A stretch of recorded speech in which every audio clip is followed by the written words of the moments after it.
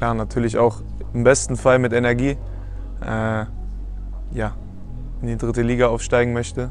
Ähm, einfach weil ich das irgendwo als Kind schon immer so ein Traum war, da irgendwann mal zu spielen. Ähm, ja, und ich glaube, wir sind auf einem sehr guten Weg, dass wir das schaffen, alle zusammen. Und ähm, mit so einem geilen Verein ist es dann natürlich nochmal was ganz Besonderes.